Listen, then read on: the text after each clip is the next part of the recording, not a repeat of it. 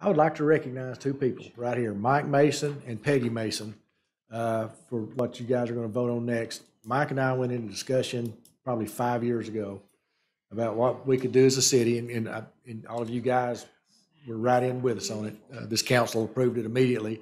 What we could do to honor our veterans, past, present, and future, and their families. This is not a memorial monument. This is a, a monument of honor. And Mike came up with the idea for the monument. Uh, he had a great idea. We wanted to put it in the uh, roundabout, but after visiting with the engineering department, uh, with Conway Corporation, there was too much infrastructure there. And, uh, we didn't want to build a really nice monument and then, uh, something have, to have to be moved there. So instead, we're going to take it to Pompe Park, and this is what it's going to look like. And Mike, you and Peggy, y'all been through- through this thing for five years, and and I appreciate, I appreciate all y'all's hard work. And we appreciate, we appreciate our veterans in this city. Absolutely.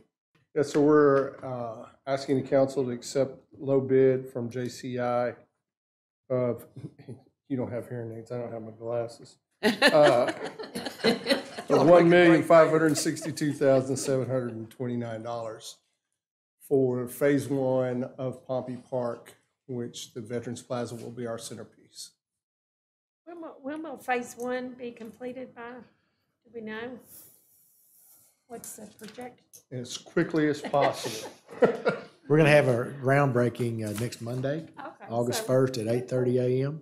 So does phase one include the covered area back there or just the main Yes, part? everything east of the creek, Oh, of, of good. Tucker Creek. It's, it's going to be, it's going to be really nice. Mhm. I make a motion to waive the three readings. Second?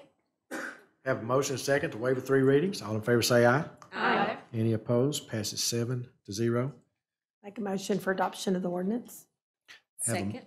Have a motion and a second to adopt this ordinance. Any further discussion? Mr. Garrett? Ordinance O twenty-two eighty-one, Mr. Hawkins? Yes. Mr. Grimes? Aye. Mr. Ledbetter? Yes. Ms. Mehl? Aye. Ms. Isby? Yes. Ms. Smith? Ms. Yes. Tucker? Yes. Passes seven to zero.